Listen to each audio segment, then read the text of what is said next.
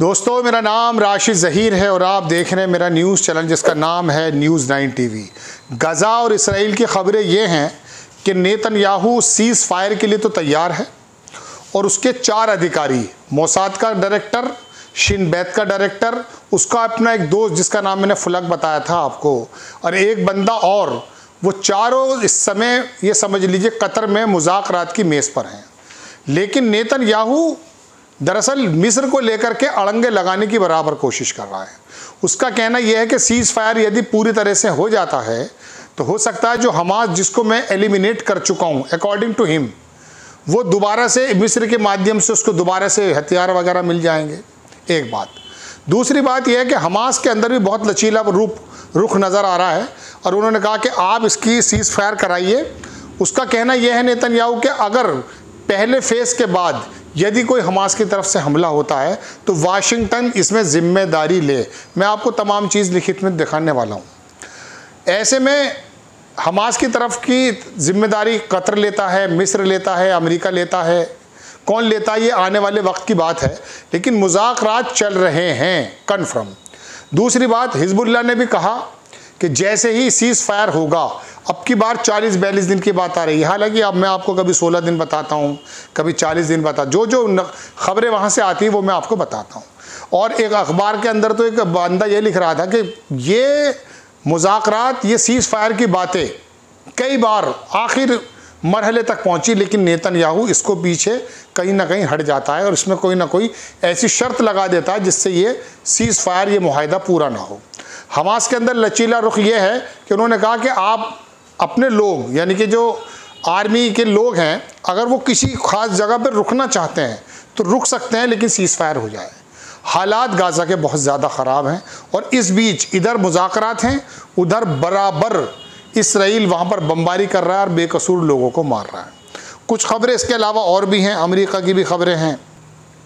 ये खबर देख लीजिए, ये अहराम ऑनलाइन की खबर है।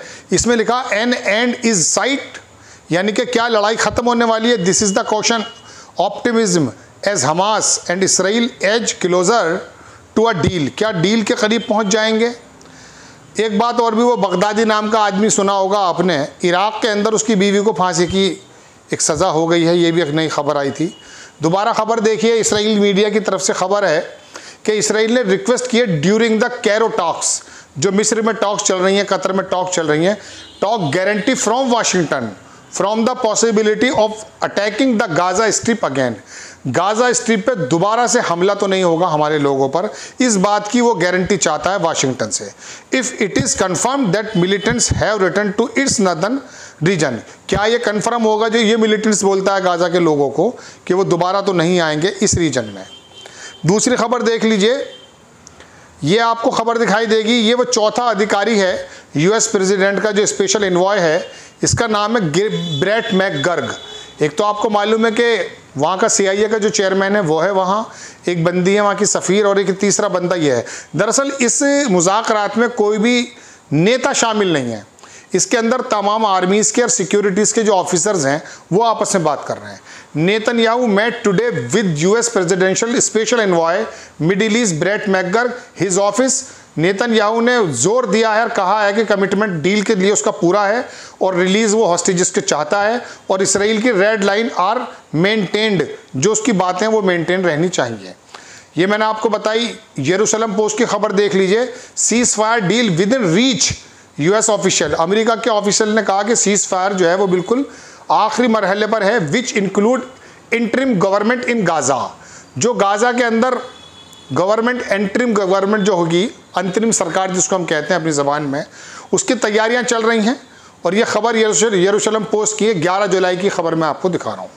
Interim governance plan the op-ed says would see neither इसमें लिखा है कि हमास का जो कंट्रोल है गाज़ा पर, वो हट जाएगा।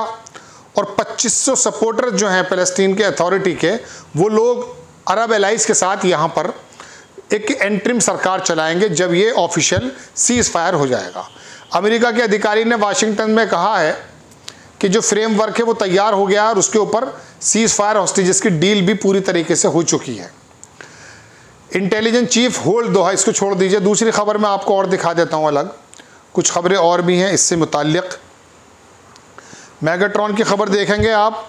ये मोरक्को ने साइन किया है वन बिलियन की डील स्पाई सैटेलाइट इसराइल के साथ, मोरक्को, अफ्रीकी मुल्क है। ठीक है जनाब, एक खबर और दिखाता हूँ मैं आपको। ये खबर नेतन याहू की यूएस जो है प्रेशर कर रहा है UK to block ICC Netanyahu arrest warrant. Guardian ने लिखा है कि इंग्लैंड जो है वो प्रेशर है। प्रेशर किस पर कर रहा है? यूके के ब्लॉक जो ICC Netanyahu arrest warrant, जो वारंट है उसके ऊपर कि वो इंग्लैंड जो है, उस वाली बात से वापस भी आ गया जिसके अंदर नेतन याहू को पिछली सरकार सब सपोर्ट करती थी। आप दूसरी खबर देखेंगे। ये खबर है कि अमेरिका ने will resume shipping 500 pound bombs to Israel. Israel को जो 500 पाउंड के जो बॉम्ब्स हैं, वो देने की बात की गई है।